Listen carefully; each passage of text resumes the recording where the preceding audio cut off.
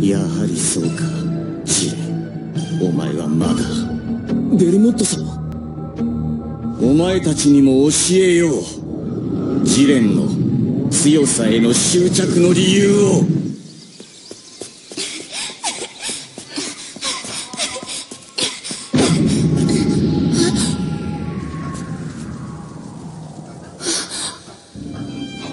ジレンはある悪党に両親を殺されたんだ。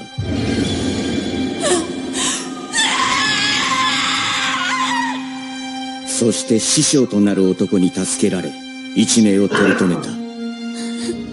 それからジレンは師匠のもとでさらなる強さと正しい道を極めようとした。一人二人三人。ジレンの周りには仲間ができた。そこに再び奴はやってきた。仲間と共に戦った。ジレンには勝てる自信があったんだ。だが奴は強すぎた。ジレンの仲間は次々と殺された。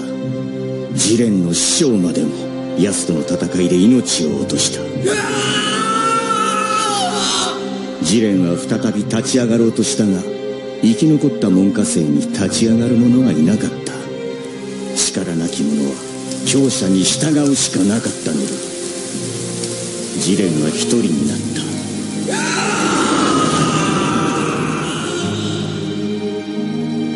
信頼していた連中に裏切られたジレンの悲しみは計り知れない。